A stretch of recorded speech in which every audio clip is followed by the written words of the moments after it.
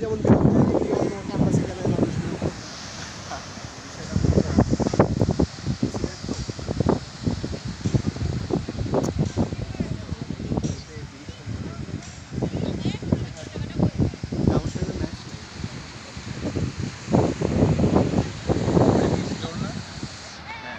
আপু দুইটা থাকাতে কিছুটা ভাইয়া রাখা নাই আচ্ছা কি যাবে তো আমাদের। ওইটাই মহেশখালী?